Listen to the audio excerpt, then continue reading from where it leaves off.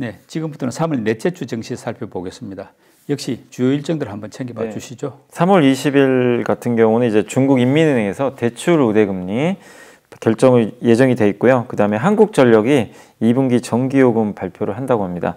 그리고 3월 21일은 미국의 2월 기존 주택 판매 데이터가 나오게 되고 또 한국에서 이제 애플페이가 정식으로 출시가 되고요. 3월 22일 수요일은 FMC 회의가 열리게 되고 영국의 2월 소비자 물가 지수가 발표가 예정이 돼 있습니다. 3월 23일은 유럽에서 EU 정상회담이 열리게 되고 24일까지 이어지고요. BOE 영국 영란은행에서 통화정책 회의가 열리게 되고 마지막 이제 3월 24일 금요일은 유럽에서 EU 3월 Markit 제조 PMI 지표가 발표되고 이제 미국의 3월 Markit 제조 PMI도 같이 이제 발표가 될 예정이고요. 제임스 불러드 이제 세인트 루이스 연방은행 총재가 연설이 예정이 돼 있습니다. 이번 주에 주목해야 될 변수가 있다면 어떤 것들일까요? 역시 뭐 가장 중요한 건 FMC 회의겠죠. 예. 지금은 아무도 뭐 어떻게 나올지 알 수가 없는 상황인데 어쨌든 이제 0.25%냐 동결이냐 요거 가지고 계속해서 이제 얘기들이 나올 것 같고 어쨌든 FMC 끝나고 우리나라 시간으로 이제 그날 새벽이에요. 새벽 아마 3시 반 정도에 목요일이겠죠. 네, 목요일 날 새벽 3시 반에 아마 연 그 기자회견을 하는 걸로 알고 있어요. 의장. 네. 예. 그 발언이 더 중요하죠, 사실은. 네. 그래서 거기에 대해서 좀 집중을 해 보시면 좋을 것 같고 또 역시 그 같은 날 BOE에서 또 통화 정책 회의가 열리는데 왜냐하면 ECB가 금리를 올렸잖아요. 근데 예. 이제 영국도 어떤 좀 포지션을 가져갈지 사실 캐나다는 금리를 동결해 버렸거든요. 네. 그래서 이 영국계 쪽에서는 사실 이제 가장 먼저 동결 쪽으로 들어갔는데 BOE가 유럽을 따라갈지 아니면 캐나다를 좀 따라갈지 한번 좀 체크해 보시면 좀 좋을 것 같고 그리고 중국 이제 인민은행에서 대출 우대 금리 결정을 하는데 아마 일각에서 이제 대부분 금리 동결 얘기를 좀 하는데 지금 사실 reopening 효과가 좀 너무 좀 적은 거 아니냐 이런 얘기도 나오거든요. 좀 네. 부양이 좀 센 것 같지는 않다. 그래서 어쨌든 지금 동결적으로 예상을 하지만 부동산 부양하려면 사실 금리 인하도 필요하긴 하거든요. 그래서 실제로 동결을 할지 아니면 인하 쪽으로 좀 또 깜짝 이벤트가 나올지 한번 지켜보시면 좋겠습니다. 그래서 이번 주에는 어쨌든 주요국들의 이 금리 결정이 있는 이벤트가 좀 많다 보니까 그 FMC나 그런 어떤 중국 인민은행 이런 좀 그 정책들을 한번 좀 체크해 보실 필요가 있는 것 같습니다. 지금 물가가 조금 완화되고 있고 또 글로벌 뭐 은행들 위기가 계속 불거지고 있다 보니까 이제 3월 FOMC에서 뭐 동결을 하거나 0.25% 포인트 올린다고 하더라도 이제 문제는 그 이후지 않습니까? 네네. 뭐 지금 봐서는 좀 긴축 속도나 강도가 좀 완화된다 이렇게 기대해 봐도 될까요? 네, 이제 속도는 확실히 이제 둔화된다고 봐야 되겠죠. 그래서 이번에 0.25%를 아마 올릴 수도 있겠지만 올려도 우리가 얼마 전만 해도 6%까지 얘기가 나왔어요. 금리가. 네. 뭐 no landing 얘기도 나오고 근데 지금 완전히 뒤집어져 버렸잖아요. 분위기가 바뀌었죠. 네, 그래서 미국의 지금 2년물 금리가 이 기준 금리에 좀 어떻게 보면 연동이 되는데 그게 4.15%까지 떨어졌거든요. 네. 근데 지금 만약에 5%까지 올리면 격차가 벌어지죠. 근데 만약에 이 상태면은 지금 분위기는 오히려 하반기에 한 번 정도는 금리 인하 분위기예요. 그러니까 미국의 2년물 금리를 봤을 때는 그래서 아마 연준이 이번에 한번 올린다 하더라도 올리고 나서는 거의 이제 동결 쪽으로 갈 가능성이 높지 않나. 그래서 기준금리는 5에서 좀 더 올라가면 5.25. 그러니까 많은 분들이 terminal rate라 그러죠. 최종 금리는 5.25 정도. 만약에 네. 가장 높다면 네. 이게 5.75까지 예상을 했었거든요. 확실히 0.5% 정도는 더 낮은 수치로 그 최종 금리를 좀 예상하는 수치로 지금 바뀌었다 상황이. 네. 그렇게 좀 보시면 좋을 것 같습니다. 요즘 뭐 국제 유가를 비롯해 가지고 이제 원자재 가격들이 조금 내리고 있더라고요. 네. 어, 뭐 금요일은 약간 상황이 바뀌었습니다만 어떻습니까? 이게 지금 경기 침체를 반영한다 하면은 지금 뭐 상당히 오히려 시장에 부담이 되는 거 아닙니까? 물가에는 도움이 될지 네. 몰라도. 네. 맞습니다. 이게 유가가 오르고 내리는 그 이유가 중요하거든요. 만약에 이제 유가 오르는 게 우리한테 사실 좋은 건 아니잖아요. 많이 오르면 당연히 비용 부담 생기니까. 근데 그 경기가 좋고 수요가 좋아서 오르면요. 네. 오히려 또 좋아요. 근데 지금은 유가 떨어지면 우리가 환호할 일은 맞는데 한국은 너무나 의존도가 높으니까 문제 이게 공급이 공급이 증가해서가 아니라 예. 수요가 지금 안 될 거다. 음. 이번에 미국 신용 또 리스크 터지다 보니까 그날 폭락한 거거든요, 사실. 예. 그래서 이게 결국엔 좀 국제유가 이번에 떨어진 건 사실상 그렇게 좋은 내용은 아니다. 또 한 가지가 중국 reopening 강도가 센 것 같지가 않다. 이 두 가지가 맞물렸어요. 그래서 지금의 유가 하락은 약간의 좀 그 증시에는 오히려 좀 약간 부담으로 작용을 하고 있는데 다만 이게 장기적으로는요 어쨌든 한국 경제는 과거에도 그렇지만 유가가 떨어졌을 때 나빴던 경우가 별로 없어요. 단기에는 뭐 수요 부진 뭐 이런 것 때문에 네. 안 좋지만 결국 이, 이 수요라는 것도 시간 지나면 개선되고 또 한국은 이렇게 저유가가 오게 되면은 어쨌든 물가가 안정화되고요. 그럼 이게 환율에 영향을 주고 또 이 지금 한국은행 총재 입장에서 부담이 덜어져요. 예. 금리를 세게 올릴 이유가 없어지니까. 그러니까 장기적으로는 굉장히 호재 맞습니다. 맞는데 일단 단기적으로는 중국의 reopening 효과 좀 부진한 것 같고 신용 리스크 어떻게 될지 모르니 유가 떨어지는 걸 지금 마냥 음. 반길 수 없는 그런 좀 단기적인 시각이다라고 보시면 좋겠습니다. 예. 국회 기재위 조세 소위에서 이제 반도체 특별법, 뭐 K-Chips법이라고 하는데 이게 이제 여야 합의가 좀 이루어져 가지고 네. 뭐 이달 안에 통과될 가능성이 좀 높아졌고 또 어, 용인에다가 세계 최대의 시스템 반도체 단지를 조성한다. 이런 이제 말을 호재가 있지 않습니까? 네네. 호재가 있는데 반해서 뭐 어떻습니까? 반도체 주가가 뭐 금요일에 조금 올랐다고 하지만은 기대만큼 못 미치지 않습니까? 왜 이렇게 느리게 움직일까요? 그게 이제 제가 봤을 때는 너무 2차 전지가 세가지고요. 이제 우리가 체감적으로 느끼기가 반도체가 훨씬 많이 빠져 보이는 겁니다. 그러니까 반도체가 안 좋긴 안 좋았죠. 1월에 좋다가요. 네. 2월에 그 에코프로 중심으로 2차 전지가 급등했잖아요. 예. 수급이 다 글로 가버렸어요. 그러니까 오히려 반도체가 이제 대립이 돼버린 거예요. 네. 그러니까 2차 전지 사고 반도체 팔고. 약간 소외됐다. 네, 완전히 소외가 돼버렸습니다.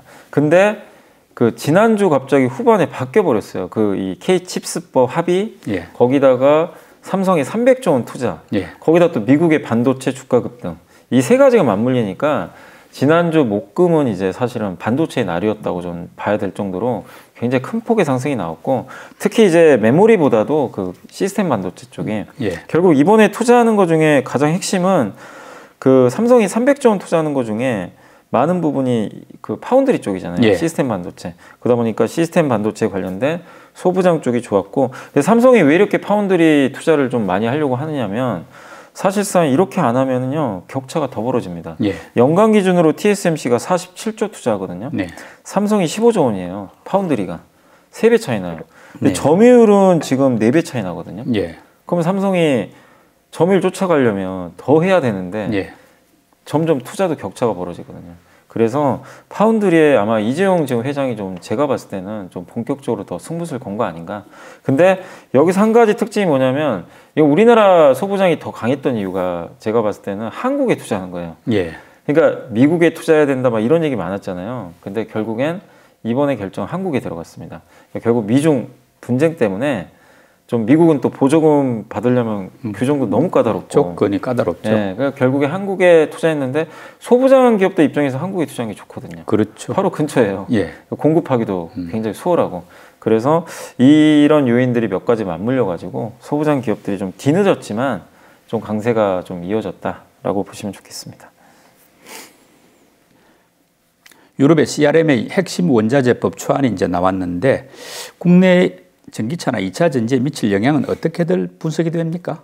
일단 이제 이 법안이 나오기 전부터 이미 주가들이 좀 많이 올라서 기대를 했잖아요. 근데 이제 예상 수준이었던 것 같아요. 그래서 오히려 이게 발표되고 나서는 이제 다음 날 주가가 급락을 했죠. 사실 2차 전지 2차 전지도 사실 신재생 에너지도 같이 좀 빠졌던 것 같아요. 근데 이제 두 가지가 나왔어요. 핵심 원자재법하고 탄소 중립 산업법 네. 이두 가지가 같이 초안이 발표가 됐는데 둘 다 똑같아요. 친환경 전환을 하겠다라는 그런 정책의 일환인데 이 첫 번째가 이제 이 유럽 핵심 원자재법인데 이게 이제 그 유럽에서 가공하는 거 그러니까 원자 그러니까 뭐, 이, 뭐 배터리를 만들거나 이럴 때 거기 들어가는 여러 가지 원재료들이 있잖아요. 예. 이런 것들에 대해서 어쨌든 이제 유럽 내에서 좀 가공을 해라. 이런 이제 법안이라고 보시면 좋을 것 같아요. 왜냐하면 대부분 또 중국에 많이 들어가 있잖아요. 예. 근데 그런 것들을 유럽 내에서 하면 뭐 혜택을 주겠다. 그래서 근데 얼마 혜택을 줄지는 안 나왔어요.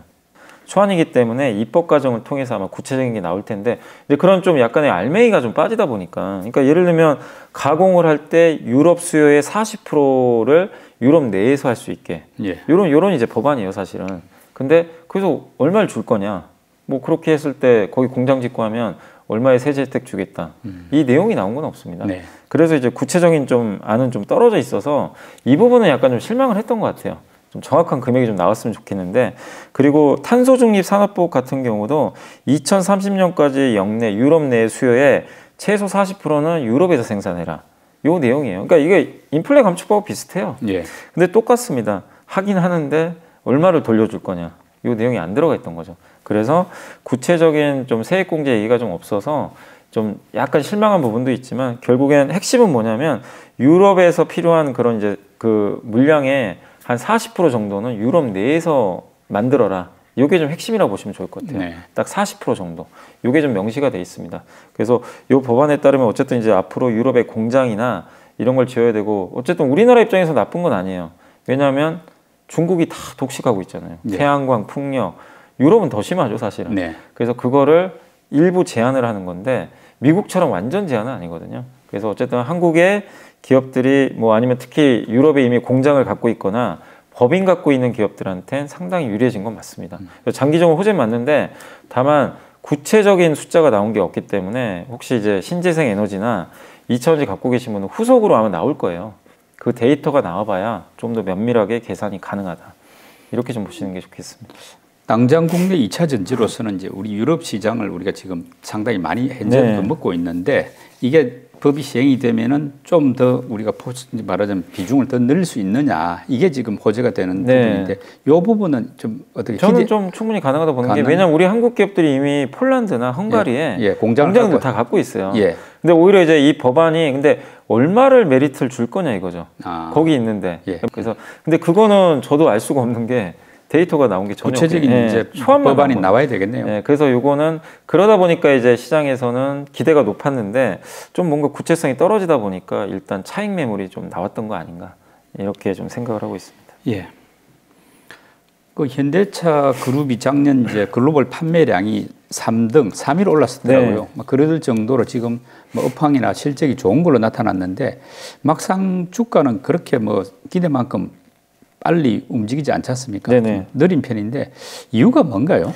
일단 현대차 그룹이 사실은 작년이 좀 안 좋았어요. 그러니까 뭐냐면 시- 이게 차도 잘 팔고 점유율도 올라가고 했는데 왜 그랬냐면은 그때 무슨 괴리가 있었냐면 지금 좋은 거는 어차피 내년에 다 꺾인다. 예. 왜냐면 피크아웃이죠. 피크아웃, 예. 그 그때 정말 심했잖아요. 네. 돈잘 버는데도 왜냐하면 아 이렇게 물가 오르는데 누가 차를 살 거며 그리고 인센티브가 되게 낮았는데 이제 반도체가 정상화되면 어떻게 되죠? 차를 많이 만들 거 아니에요. 예. 그러면 차 공급이 느니까 재고 느니까 재고를 더 넣는다는 얘기는 딜러들한테 협상력이 떨어지는 거죠. 그래서 네. 인센티브 올라갈 거고 이게 논리였어요.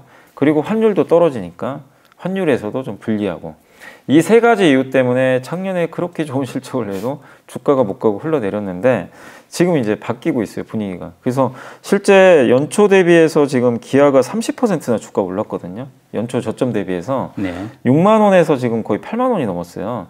그래서 주가 좀 많이 올라가고 현대차는 16% 올랐어요. 그러니까 지수보다는 굉장히 많이 오른 건 사실입니다. 근데 이렇게 좀 올라간 배경은 뭐냐면 일단 이제 시장에선 다시 인정하기 시작했어요. 환율도 올라갔죠. 네. 거기다가 인센티브가 현대기아는요 올라가질 않아요. 여전히 저점에 있고 예. 그리고 현대기아가 이번에 그 나왔던 얘기 중에 하나가 인플레 감축법 좀 피해 회사잖아요. 네. 그러니까 보조금 못 받는데 법인 차량 있잖아요. 예. 렌트카 음. 이거는 받아요. 네. 법을 보니까 근데 이쪽으로 약간 비중은 늘릴 가능성이 높대요. 근데 네. 이쪽을 비중을 생산을 늘리잖아요. 법인 차량 같은 걸. 예. 그러면 기존의 다른 차량 비중을 좀 생산을 줄이거든요. 그러면 재고가 크게 늘 이유인이 별로 없는 거죠. 음. 이쪽에 집중을 하게 되면. 예. 미국은 이 상업용 시장도 굉장히 큰 시장이거든요. 이런 것들도 있고 그리고 어쨌든 올해 지금 예상보다 수요가 줄질 않는다고 하더라고요. 예. 줄줄 알았는데 그러니까 피크아웃 논리가 사실은 좀 약화된 거죠. 지금 약화돼 버렸어요. 예. 음. 지금 현재까지는 그러니까 이제 주가가 기아는 다시 복원을 했어요. 근데 우리가 이제 복원은 한 거는 예. 일부 복원은 됐는데 이제 작년 많이 내린 거에 비하면 예. 사람이 기대치에는 기대치에는 분명히 못 그죠. 하거든요. 그래서 아직 뭐 많이 오른 것 같지가 않아서 네. 이제 이런 질문 드렸던 건데 근데 어쨌든 우려가 커서 주가가 폭락을 했다가 이제 회복은 됐고 예. 다만 이제 여기서 더 레벨업을 하려면 뭔가 추가적인 모멘텀이 있어야 되는데 저는 이제 그걸로 보는 게 그 기아에서 이번에 EV9이라고 네. 대형 SUV 전기차가 나왔더라고요. 예. 요게 미국에서 얼마나 팔리냐가 이제 핵심인 것 같아요. 아, 이게 왜냐면 지금 아직은 못 봤잖아요. 근데 예. 이 차는 미국에서 내년에 아마 현지 생산하는 걸로 알고 있어요. 근데 그게 올해 이제 하반기부터 수출은 되거든요. 네. 그게 판매량이 만약에 잘 나온다면 이제 완전 분위기가 또 달라지겠죠. 이제 코스닥 대장주로 하는 에코프로, 에코프로 BM, 에코프로 HN 이른바 에코프로 삼형제가 지금 주가가 연초부터 많이 올랐는데, 네. 근데 금요일 날 약간 좀 뭐 조금 꺾이기도 했습니다만은 어떻습니까? 이 지금 2차 전지 소재주들 많이 올랐던 이 부분이 앞으로 계속 이어질 수 있을지 아니면 조금 조정이 좀 있을 가능성이 높은지 어떻게 보십니까? 이게 좀 조정 가능성이 높은 것 같아요. 이제 많이 오른 건 사실입니다. 지금 이게 그 코스닥이 연초 이후에 한 5.6% 정도 올랐대요. 이게 3월 15일 기준입니다. 네. 올랐는데 에코프로 BM이 114% 올랐고요. 예. 에코프로가 272% 올랐어요. 그러니까 이들 시총 증가분이 152%예요. 네. 그러면 이거 얘네 둘을 딱 빼면요. 코스닥 시총은 마이너스 0.1입니다. 아, 둘 제외하면 오히려 빠졌네요. 빠져버렸어요. 그러니까 다른 회사들은 급락했다는 얘기예요, 오히려. 그러니까 이게 너무나 쏠림이 심했던 거죠. 그래서 이건 사실 정상적인 흐름은 아니거든요. 너무 한쪽으로 쏠리는 건 휴유증을 좀 불러일으키는 건데 결국 지금 에코프로 BM도 PER이 50배가 넘을 정도로 네. 굉장히 많이 오른 건 사실입니다. 그래서 이들 기업들이 뭐 앞으로 나빠진다가 아니라 이 너무나 이제 수급이 이쪽으로 몰리다 보니까 이걸 좀 정상화하는 과정이 좀 있을 가능성이 높고 또 지난주 후반부터 갑자기 반도체 소부장으로 넘어가 버렸잖아요. 수급들이 예. 예. 그리고 만약에 여기서 반도체 소부장을 대신할 게 또 나오면 그러니까 이렇게 보시면 될 것 같아요. 이 2차 전지에 대해서는 누구도 의심은 안 하는데 네. 다만 많이 오른 상태에서 새로운 모멘텀이 지금 없잖아요. 그 유럽 원자재법도 이미 나와버렸고 예. 그럼 이제 재료가 없는 상황에선 수급이 중요하거든요. 근데 반도체로 갔다가 또 다른 업종이 나오면 글로 옮겨 다니겠죠. 근데 반도체 말고 또 대안이 없다. 네. 그럼 다시 또 2차 전지로 갈 수도 있어요. 그러니까 이거는 이제부터는 이 업종 간의 좀 힘겨루기 싸움이 네. 어디로 가느냐의 문제인 것 같아요. 이제 3월 FOMC 지나고 나서 뭐 약간 뭐 동결을 한다든지 또는 긴축을 하더라도 좀 속도가 완화된다 이럴 가능성이 지금 지금 보이지 않습니까? 네네. 이런 상황에서 지금 좀 주목해 볼 만한 FOMC 이후에 주목해 볼 만한 업종이 있다면 어떤 쪽일까요? 결국 이제 FMC가 만약에 금리를 올린다 하더라도 만약에 이제 연준 의장 입에서 이제 어쨌든 이제 긴축 종료라는 그런 시그널이 만약에 나오기 시작한다면 유동성에 대한 이제 기대감이 생기겠죠. 네. 그러면 이제 그 우리 한국 같은 경우는 사실 보시면 그 미국의 빅테크는 정말 좋았는데 네. 한국의 성장률은 굉장히 약했거든요. 2차 전지만 올라갔고 그래서 오히려 한국의 게임이라든가 인터넷 업종들 굉장히 소외받고 있거든요. 지금 그래서 그런 쪽도 한번 여러분들이 눈여겨 보시고 또 한국의 뭐 대표적인 인터넷 회사 게임 회사들은 그동안 돈은 많이 벌었잖아요. 그래서 현금은 좋, 흐름은 되게 좋거든요. 네. 그래서 한국에도 그런 류의 기업들이 한 번은 좀 올라가지 않을까 예상하고 있고 역시 또 유동성이 좋아질 때 같이 가는 업종은 반도체입니다. 네. 항상 반도체도 미국 big tech 좋으면 순차적으로 같이 따라가는 경우들이 나왔어요. 그래서 저는 개인적으로 우리나라 반도체 대표주도 좀 갈 것 같고 그리고 자동차 쪽도 여전히 저는 뭐 너무 단기 시각으로 보지 마시고요. 자동차 쪽이 매력 있는 게 이게 어쨌든 실적 좋은데 주가가 너무 안 가가지고 저평가돼 있잖아요. 근데 그것도 그건데 기본적으로 배당 수익률이 또 좋아요. 현대 기아가 그래서 그런 면에서 반도체, 자동차, 한국의 좀 이런 인터넷 플랫폼 게임 이런 쪽을 한번 주목해 보시면 어떨까 좀 생각을 하고 있습니다. 예, 초보 투자자들을 위한 팁 제공 순서 연불리 보고서 듣는 시간이 됐는데요. 어떤 내용입니까? 그러니까 2차 전지에 여전히 관심들이 계속 많으실 것 같은데 한번 이 보고서 보고 한번 고민해 보시면 좋을 것 같아요. 그 신한투자증권의 심원영 정영진 연구원님이 제목이 다음은 SI 실리콘 플러스 CNT 이게 탄소 나노 튜브라고 하는 예. 건데 도전제라고 있거든요. 소재 중에 2차 전지.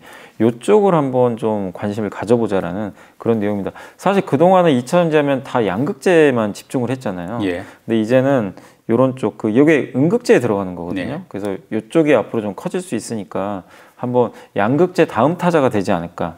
요런 좀 한번 그 내용이니까 한번 공부해 보시면 좋을 것 같고 이게 음극재가 그 흑연으로 만들잖아요. 예. 근데 흑연 같은 경우 이렇게 만들었을 때 흑연의 역할은 뭐냐면 리튬이온을 여기서 이제 잡아주는 역할을 해요. 그래서 흑연이 이거를 리튬이온을 많이 잡아주면 잡아줄수록 배터리 성능이 올라가고요.